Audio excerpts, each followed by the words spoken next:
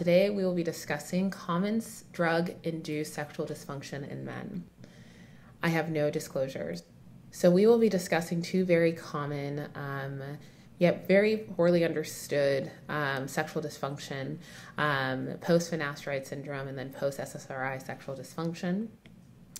So, post finasteride syndrome. So, post finasteride syndrome is kind of a controversial um, uh, diagnosis in the world of urology, but even though we find it controversial, our patients do not. Patients that are suffering from this condition, you know, don't necessarily want to wade into the weeds of is it real, is it not, because they are really experiencing symptoms. Within the world of sexual medicine, we have more so, um, you know, opened our minds to the idea that, um, you know, post finasteride syndrome does exist. So, PFS is defined as persistent or irreversible adverse effects that happen to continue after discontinuation of the drug finasteride. Um, symptoms can include persistent erectile dysfunction, loss of libido, decreased volume of ejaculate, penile shrinkage, cognitive impairment, and then also psychiatric symptoms like depression, suicidality, anxiety. And oftentimes these psychiatric symptoms are made worse by um, kind of the dismissal of patients by the medical community that do associate their symptoms with their use of finasteride. So, you know, when looking at the incidence of finasteride, it's largely unknown. Um, and that is because for several reasons. So many people that we prescribe finasteride to are, you know, over the age of um, 50 or 60. Um, we, they tend to be an aging population which who will already have some degree of sexual dysfunction at baseline. So it's hard to know whether or not their sexual degree, degree of sexual dysfunction is because of the drug itself versus age. A really important demographic to look at is the uh, post finasteride syndrome in our treatment for um, male pattern, pattern baldness. Um, there are a couple case series coming out. Um, looking at the incidence of PFS in um, younger patients that were treated um, with finasteride for um, uh, male pattern baldness or alopecia. Um, and so that's, I think, the best research group to actually see what the effects are of, um, of post finasteride syndrome. Um, so when we look at the actual medication, um, there are clinical trials that do support the sexual side effects of um, uh, uh, finasteride and dutasteride um, are low and reversible, but there um, in there are there is a in 2012 the FDA actually made changes to the inserts um, to con- to include the persistence of side effects, um, and so that is that tells us that you know there the possibility of when we tell patients that oh the symptoms should go away when they're when the medication stops is may not be correct. Um, and in 2015, PFS was included in the list of rare and genetic diseases by the NIH. So it is something that is becoming and gaining more traction. Um, so post-finasteride syndrome is caused by 5-alpha reductase inhibitors, which are a class of anti-androgenic drugs. Um, they're oftentimes used for BPH and or androgenic alopecia. Um, the most commonly used types are dutasteride and finasteride. Um, in clinical practice, with things like minoxidil, saw palmetto, um, also have anti-androgen effects associated with the mechanism of action um, for 5 alpha reductase inhibitors is that they inhibit the 5 alpha reductase enzyme, um, which is responsible for the conversion of testosterone to its active derivative, DHT. Um, 5, uh, 5 alpha reductase um, uh, ultimately affect your body's ability to utilize testosterone um, and or affects your body's ability to utilize DHT, which is the most potent type of testosterone. And we know that there this actually does have long-term um, sequela to the muscle of smooth muscle of the penis, as well as there are also um, receptors, neuroreceptors, neurotransmitter receptors. Um, of testosterone on the brain. And so further research is needed to show, you know, if we're if there are receptors present um, and those receptors are associated with mood um, and um, uh, with mood and we're blocking those receptors we're well essentially not able to let those receptors um, work effectively you know it's not uncommon or it's not out of the realm of possibility that these patients can actually have um, psychiatric symptoms outside of uh, outside of the secondary psychiatric symptoms uh, caused by the condition itself. Um, animal models have actually shown that androgen deprivation um, can cause penile tissue atrophy, um, autonomic and sensory nerve alterations, endothelial changes, um, as well as increased deposition of fat um, into the muscle. So, again, there are actual real um, physiologic changes that happen with the blocking of testosterone. So, you know, really the big thing is I, I always tell people, um, is just validating your patient's concerns because this is something that is real and something um, that is backed by science. And although we don't have really great treatment modalities at this point in time, we're we do have to start validating our patients and and you know letting them know that we are working towards. Um, treatment and working towards getting a better understanding of who develops PFS.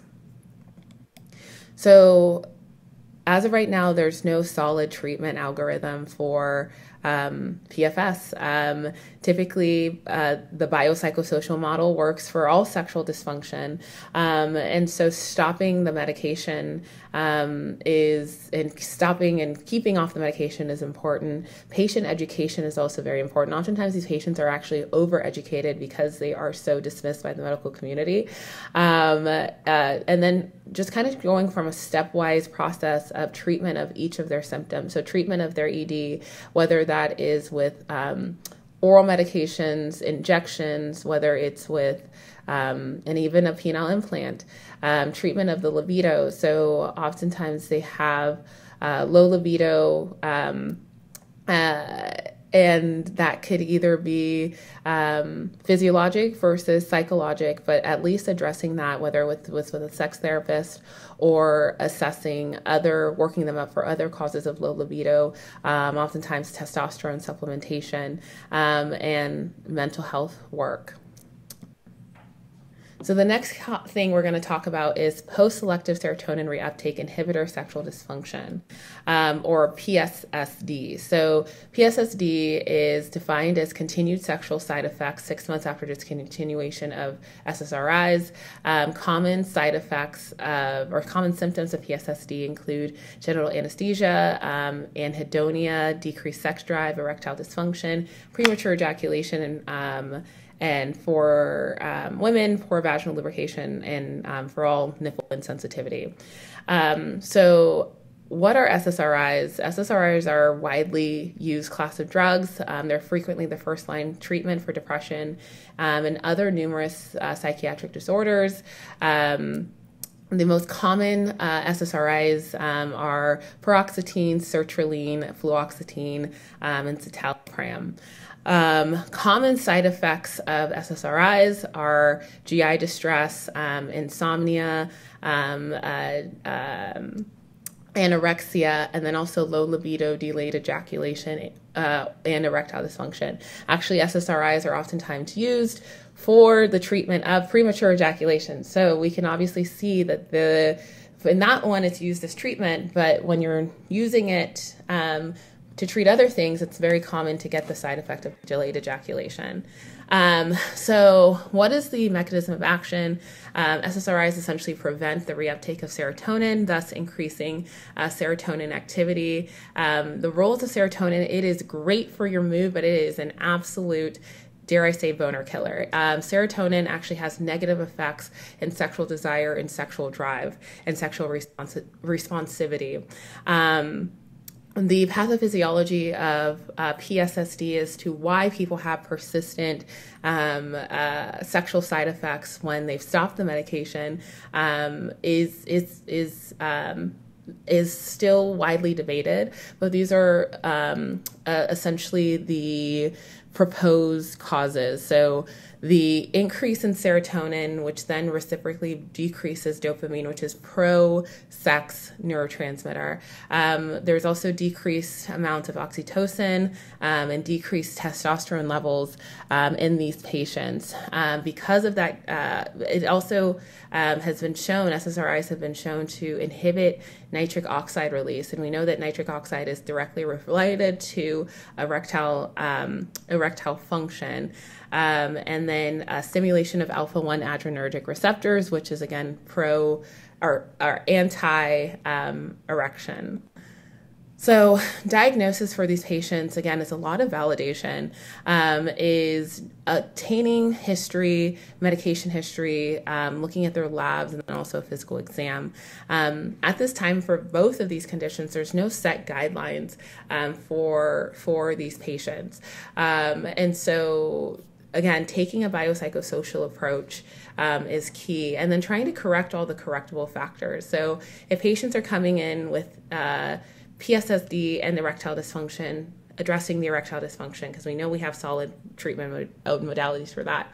If they come in with low libido, addressing the low libido in the set, especially in the setting of hypogonadism, and correcting and and and getting them to uh, uh, normal levels um, there are also um, uh, medications that are on the market for um, low libido. These medications, though, are FDA approved for women. There's not been an FDA approved medication for men. So these are these are medications that you can use, but just counseling patients that this is something that you would use off label. Um, there has been treatment success noted with these medications, but there's not been any clinical trials, wide stage clinical trials or wide stage case series. Um, and then, uh, as always, mental health assessment. Your brain is your biggest sex organ. If you are mentally um, in a state where you're not able to have a healthy sexual health life, there's no way that that psychological response will then transmit to a um, physiologic response. Um, so, for both of these conditions, really, it's just validating our patients um, and then doing a very stepwise, systemic, or step, stepwise um, algorithm of addressing all this particular issues um, that they have. Um, further treatment or further research is needed um, for patients in in developing an algorithm, um, in developing a treatment modality for them that's going to be um, very effective. So. Um, you know, I would love and encourage everyone to get involved in um, our research um, that we're doing through the uh, Society of Sexual Medicine. Um, if anyone has any questions, please feel free to call me or sorry, email me at emiloco at health.ucsd.edu.